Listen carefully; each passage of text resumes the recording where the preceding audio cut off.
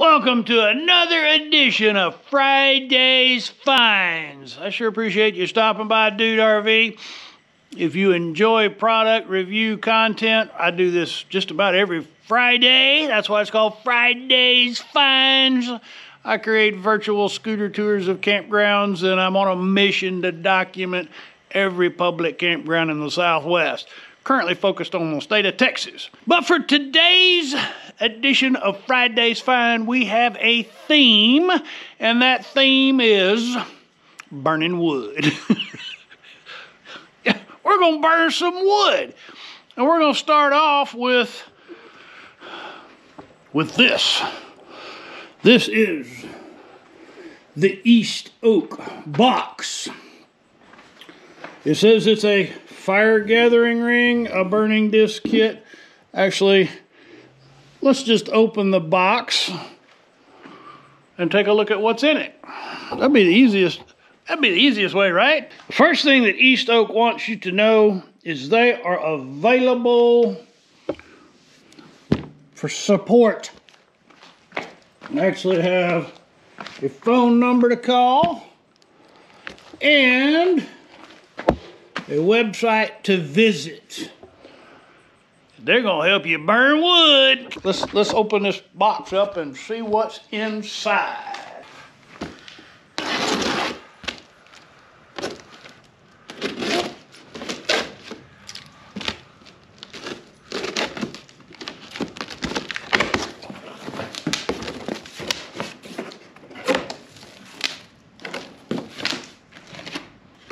Look at this.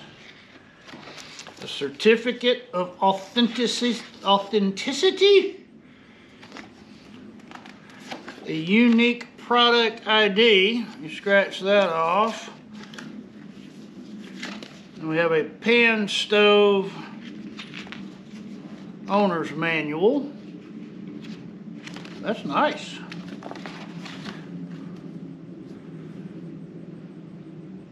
And then they have a QR code so that you can get your product registered. That's really nice.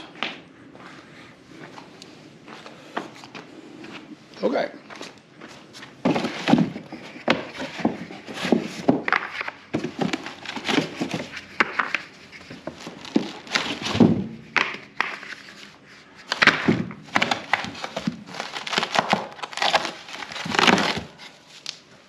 Two part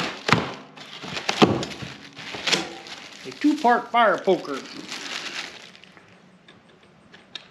That's that's handy because that'll help in transportation transport, especially in the RV.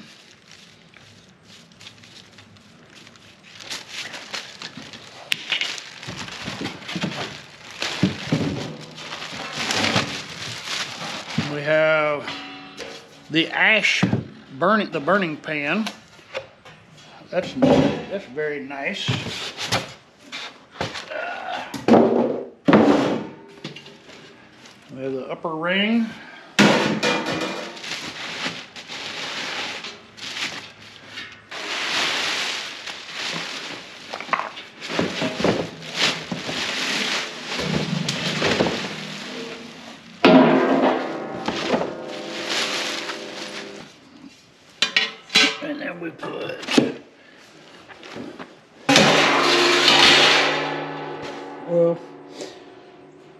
Not completely round on the outside. And there we go. Now all we need is some wood and a way to start the fire. So let me work, let me read the instructions first, gather up the rest of the stuff that I need, and then we'll burn some wood. I needed to tell you this before we went any further. I was reading the owner's manual and the East Oak fire pit has a three year warranty on it.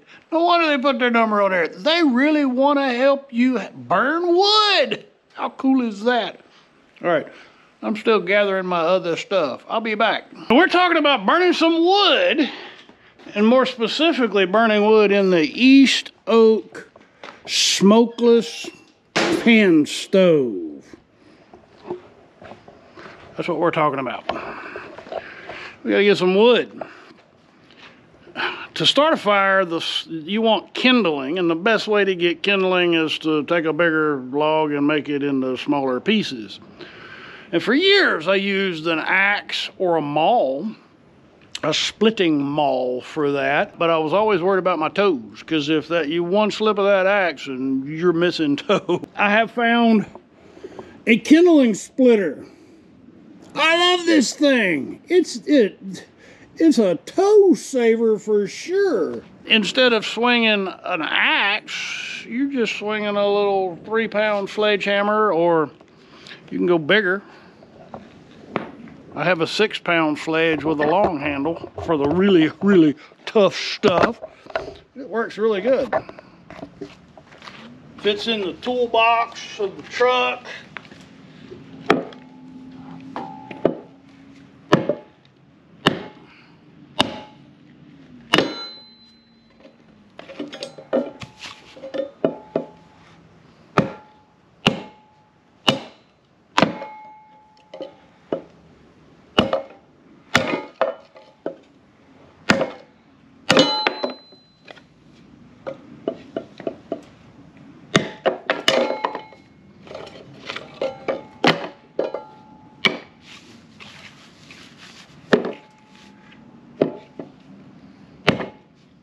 Now we're ready to build a fire.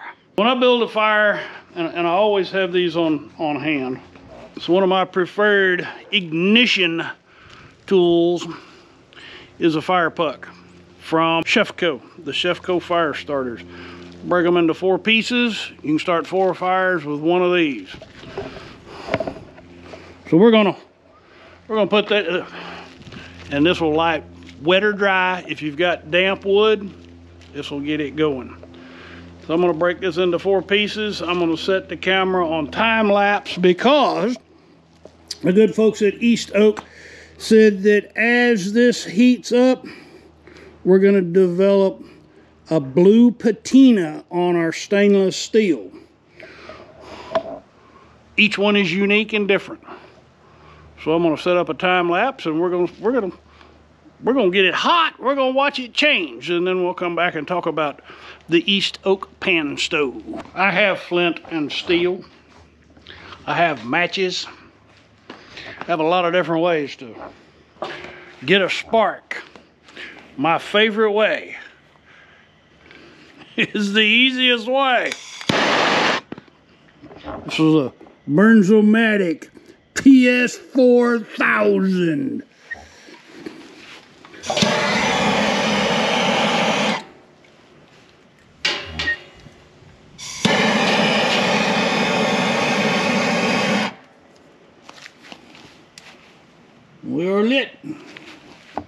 We just watch it burn.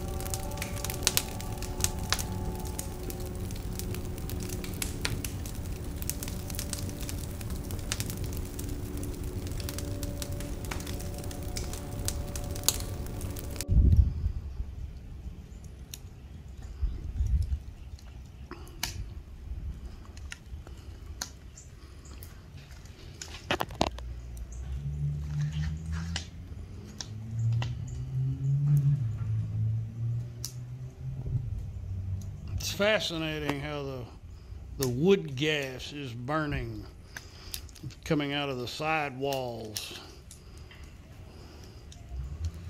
Right here, you'll see where the gas is coming out of the the middle, right out of that the air wall, I guess you'd call it, because there's there's a double wall that gets it gets hot and as the wood is being combusted it's actually releasing a gas. It's, and that is being combusted as it exits the top of that ring where those those holes are right there. Very fascinating. And that, that's man it is putting out some heat too here we are after dark.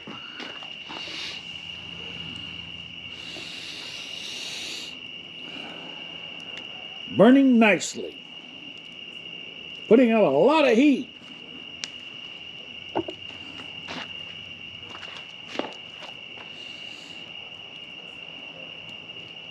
So we'll check it back in in the morning. The next day. So the fire's the fire's pretty well just burned out. All the wood is gone. We have nothing but ash left. And we have this really cool patina now. All the way around. Kind of a golden brown. We need to get the ash out. Get the ash out! So East Oak provides the fire poker in the kit. And it has a hook so that you can Look at that. How cool is that?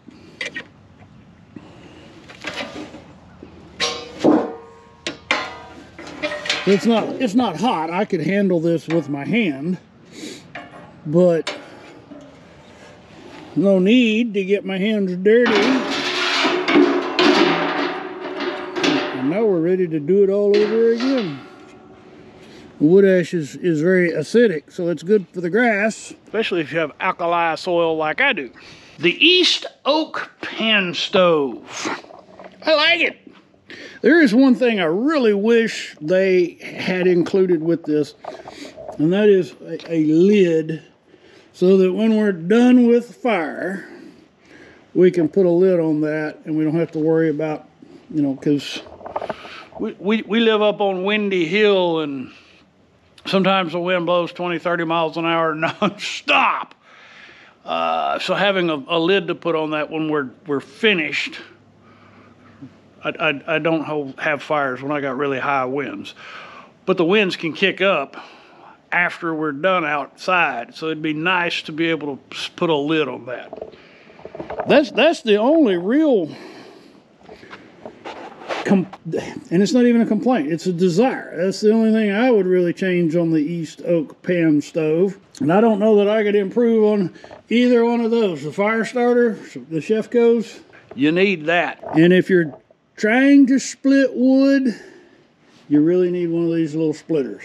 Brings us to the end of the Burning Wood edition of Friday's Finds. I hope you found it entertaining, informative, and if you did in any way, shape, or form, please click on that thumbs up. That really helps with the YouTube algorithm. If you've not already, I'd be most honored. Gotta get some better light out here. If you've not already, I'd be most honored if you'd consider clicking on the subscribe button. If you like this kind of content, I, I, I do a Friday's Finds just about every Friday. And I also do camping videos and RV videos and I do a lot of videos. anyway, I'd be honored if you'd consider clicking on the subscribe button. And for those of you who have been following along, thank you. I am most grateful. And for my patrons, I am truly appreciative. You rock! All right, y'all come back now, you hear?